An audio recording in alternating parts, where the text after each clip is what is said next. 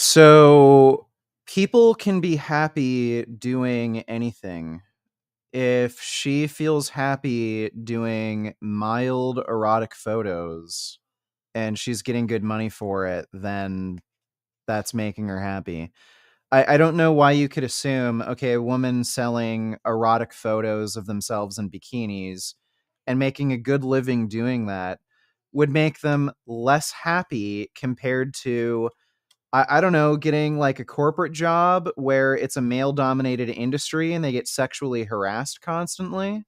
Like, do you think she like she should get a uh, job in uh, politics for the Conservative Party, who has a history of fucking harassing their female staffers?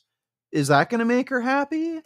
Like, I, I wonder if that's a route, you know, a pathway that would lead to, you know, more or less sexual harassment.